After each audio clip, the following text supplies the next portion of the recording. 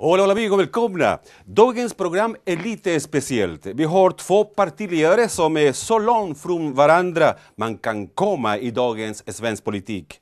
Nämligen Vänsterpartiets Lars Ohly. Välkommen Lars! Tack så mycket. Och Sverigedemokraterna Jimmy Åkesson. Välkommen Jimmy! Tackar. Hur är det med dig? Det känns Allting bra okej? allting ja. Mycket att göra? Ja, det är det. Ehm, den första frågan handlar om eh, svenskhet. Vad är det Jimmy? Vad är att vara svensk? Det beror nog lite på vem man frågar såklart. Men, men mycket hänger ju ihop med den subjektiva bedömningen som man gör och jag gör min bedömning av vad som är svenskhet. Och svenskhet handlar ju om identitet som jag ser det, hur man själv betraktar sig. Om man betraktar sig som svensk, om man identifierar sig med andra svenskar och det svenska sättet att leva och med det svenska samhället och med de värderingar och normer som okej, finns i men Sverige. hur ska invandrare göra för att bli svensk någon gång? Om det är möjligt? Det är möjligt, det tror jag. Det har vi ju sett tidigare. Vi hade ju invandring även före den här typen av invandring som Ja. vi har idag och då lyckades man ju. Om man kom som arbetskraftsinvandrare till Sverige på 60-talet till exempel att assimileras någorlunda i det svenska samhället. Och framförallt ännu viktigare tycker jag att man lät sina barn bli svenskar, bli en del av det svenska samhället. Och det är egentligen så assimileringen går till. Okej, tack. Lasse, din opinion om det. Vad, vad, vad, vad är för dig svenskhet? Svenskhet är inte något statiskt begrepp utan det är föränderligt. Det har sett olika ut över tid och det kommer att se olika ut i framtiden också. Och det beror på att vi som bor här och lever här, vi formar Sverige. Eh, Den ursprungliga svenskheten, det är egentligen samerna som Sverigedemokraterna skriver i sitt partiprogram är en icke-svensk befolkningsgrupp. Eh, Det är en ursprungsbefolkning enligt FNs ursprungskonvention. Eh, Det visar ju hur galet man hamnar när man liksom ska definiera svenskhet på olika sätt. Det, det, det är för fel eftersom svenskhet alltid är föränderligt. Mm.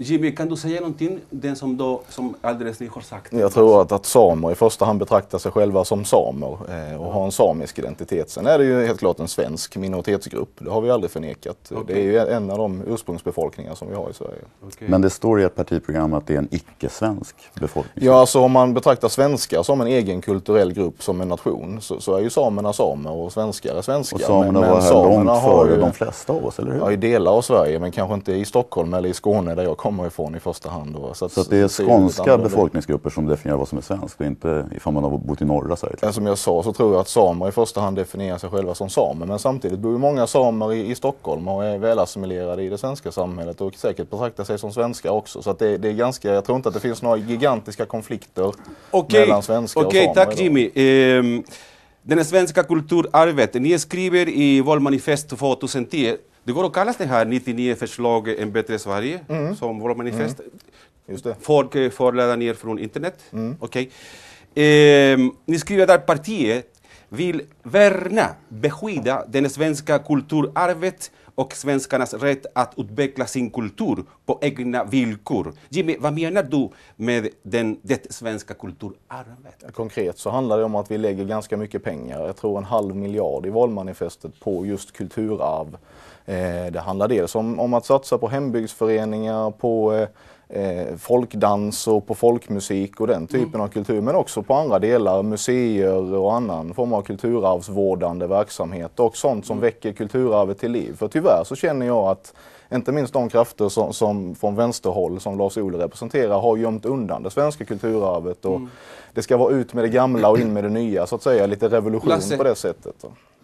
Det finns väldigt många folkdansare och andra utövare av en kultur som har funnits länge här som, som avskyr allt det som Jimmy Åkesson och Sverigedemokraterna står för. Inte allt. Eh, och som verkligen eh, tar avstånd ifrån det här synsättet att, eh, att det svenska kulturarvet skulle begränsas till de kulturyttringar som de sysslar med.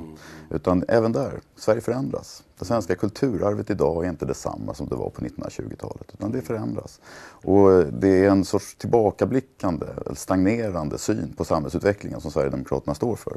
Och det gör dem så farliga. Därför att det utestänger istället för att inbjudande öppna för nya kulturyttringar. Eh, man kan väl inte säga att, att moderna kulturyttringar som rockmusik till exempel överhuvudtaget hör hemma i ett svenskt kulturarv i den meningen som Jimmy Åkesson be- be- benämner det. Men jag menar att, att det är en del av den svenska kulturen. Vi är oerhört framgångsrika som musiknation idag. Och det kommer vi att fortsätta att utveckla och det är det svenska Tack kulturarvet. Lasse. Eh, hur ska svenska kultur påverkas till exempel hur många filmer om eh, Somalia har, har vi sett? Hur många filmer om? Från, eh, från Irak, från Iran eller från eh, Somalia, filmer. Det mest som kommer via TV det är USA, amerikanska filmer. Mm. Kanske den delen påverkar mycket mer än oss än någon andra kulturer som finns här.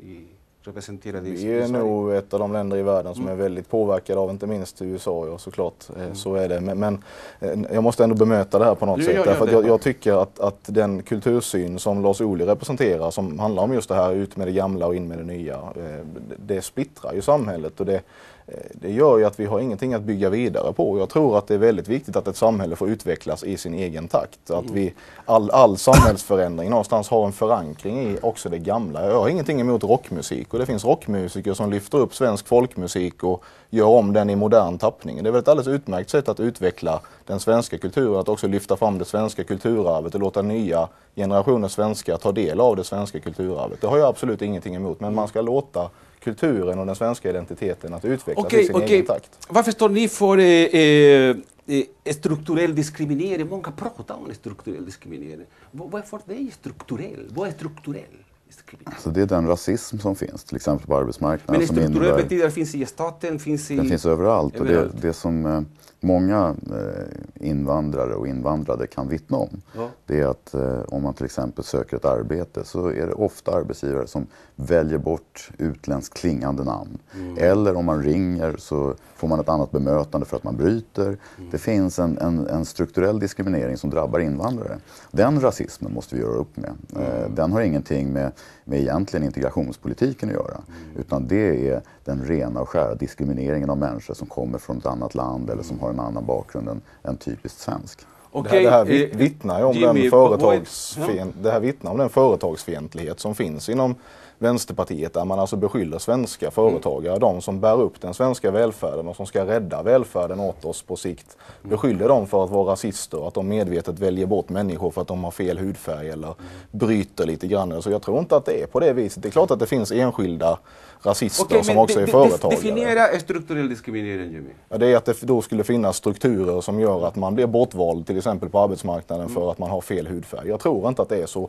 Jag, jag tycker att om man tittar på fakta så kan man se att det är en väsentlig skillnad mellan den faktiska diskrimineringen och den upplevda diskriminering som, som många säkert upplever. Eh, men, men om man tittar på till exempel hur många som faktiskt fälls för diskriminering så är det ganska få i förhållande till hur många som anmäls. Så det vittnar om att det finns inte kanske en så utbredd faktisk diskriminering som, som Lars Ohly och andra vill Okej, påskina. okej, många säger... Får jag bara säga det? Oh, Att, oh, varsågod. det finns eh, väldigt många undersökningar som visar att eh, den som har ett svenskklingande namn har lättare att komma på intervju och lättare att få arbete. De som eh, söker arbete med ett eh, arabiskt namn eller ett afrikanskt namn eller ett utländskklingande namn har mycket svårare att få ett bra bemötande. Vi har också undersökningar som visar att det här gäller inte bara företag, det gäller myndigheter, det gäller restauranger, det gäller möjligheten att kunna komma in på ett populärt ställe. Den här diskrimineringen är grundad i fördomar. Och det är det ni stryker medhårs. Det är där ni har er grogrund. Istället för att det. bekämpa de fördomarna och den diskriminering som följer av dem så vill ni uppmuntra dem. Och det är ett rasistiskt parti. Nej, det vill vi inte. Däremot det finns ju, självklart så kan det finnas förklaringar till att om man kommer från ett annat land och har svårt att få jobb i Sverige, det är inte så konstigt. Man kanske inte behärskar språket på ett sätt som, för, som man måste för att kunna utföra ett, ett jobb. Man kanske inte har en utbildning som är relevant för den svenska arbetsmarknaden därför att man har fått den i en helt annan del av världen och där är den relevant för arbetsmarknaden i det landet. Så jag tycker inte att det är så konstigt att prata om strukturell diskriminering och prata om att alla företagare i Sverige är rasister. Det är att gå alldeles för långt. Men det är verkligen ingen som har sagt det. Om jag har sagt det så ber jag om ursäkt, men det har jag inte. Utan vi talar om den diskriminering som drabbar människor med utländskklingande namn, med annan hudfärg, med annan bakgrund än svensk. Och där finns det, med samma kunskaper, med samma bakgrund, en diskriminering som drabbar just Det dem. sant men- inte men- det säger? Menar du på fullaste allvar att företagare i Sverige väljer bort Ja. människor för att de har fel hudfärg? Nej, att man har fel namn eller att man inte talar tillräckligt bra svenska. Ja men det är att det man... så konstigt om att man väljer bort någon som inte talar tillräckligt ja, bra det är svenska? faktiskt konstigt. För man har tillräckligt bra kvalifikationer Ja, men då så har man man ju då. där möjligheten att faktiskt också lära sig det svenska språket i ett arbete. Och den möjligheten tar man ifrån människor som har kunskap, som har utbildning, som borde kunna komma in och göra ett bra jobb. Jag tycker det är rimligt att man, att man väger in till exempel språkkunskaper i, i de fall det är relevant såklart. Det tycker jag.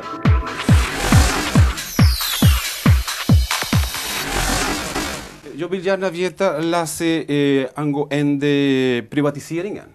Vad tycker du om det här? Vad kommer att hända de närmaste åren angående eh, privatiseringar? Det som vi ser nu det är en utförsäljning av vård, av skola, av omsorgsverksamheter som innebär att de privata vinstintressena får ett allt större grepp över de här verksamheterna. Mm. Och när de privata vinstintressena kommer in, då börjar man också sortera människor. Då blir inte välfärden längre generell och allmän, utan då börjar man fråga sig, vem är lönsammast att vårda? Mm. Och då kanske det är så att man tar in försäkringspatienter istället för de som står i landstingskön. Att man börjar fråga sig om man kan eh, på olika sätt avgiftsfinansiera generell välfärdsverksamhet. Och därigenom så får man en skiktning. Mm. Och den här skiktningen drabbar alltid de som har minst. Det drabbar alltid de med de lägsta inkomsterna, de som står längst från arbetsmarknaden, de som redan har minst. Mm. Och det är ju drömsamhället för en, en borgerlighet som vill öka klasskillnaderna, som vill öka Eh, motsättningarna i samhället.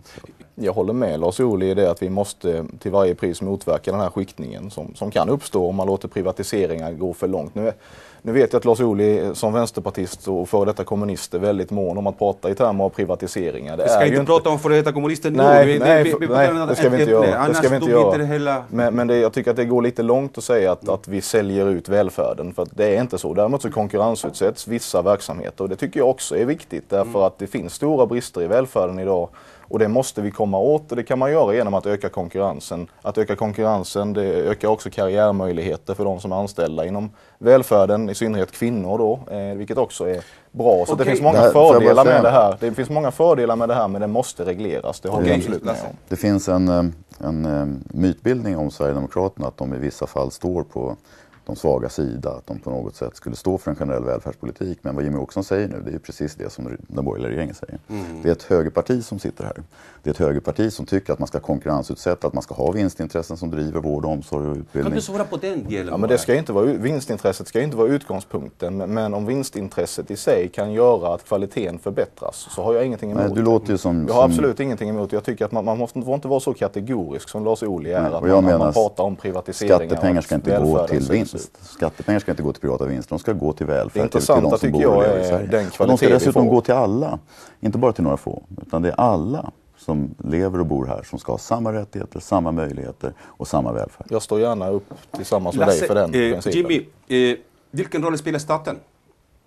Eller Sverigedemokraterna? Ja, jag tycker att vi ska ha en stark välfärdsstat. Och det pratar ju ofta inte borgerligheten om. Stämmer det han, han säger då, angående staten, eh, Lasse? Så problemet är ju att Sverigedemokraterna har en ekonomisk politik som inte hänger ihop någonstans. Det finns inte en siffra rätt någonstans. Och det gör ju att det går inte att lita på att man skulle kunna skapa ett generellt välfärdssamhälle med en sverigedemokratisk politik. Mm. Vi behöver skatteintäkter. Vi behöver Eh, se till att finansiera välfärden. Antingen genom skatter eller genom avgifter. Och tar man avgifter då blir det orättvisare för då kommer många inte ha råd. Mm. Och därför så måste man också se till att den ekonomiska okay. politiken... Jag, jag tycker jag måste få bemöta det. För jag tycker det blir, det, blir, en, det blir en lite jobbig debatt när man säger att det finns inte en enda siffra som är rätt någonstans. För det, det vet jag att du inte egentligen tycker. Det är klart att det finns siffror som är rätt i mm. vår budget och jag vill påstå att alla ja, siffror där är rätt. För att ta tillbaka där. Det finns siffror som är rätt. Ja. Men på slutraden så finns det inte någonting som går ihop. Ja, men det håller jag naturligtvis inte med om. Däremot så vet jag att du och ditt parti är väldigt glada för det här med att öka utgifterna och spränga utgiftstak och liknande och att inte ta ansvar för de, de eh,